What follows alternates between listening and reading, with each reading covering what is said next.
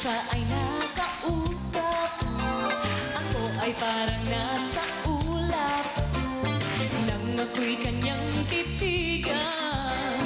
Sa puso ay anong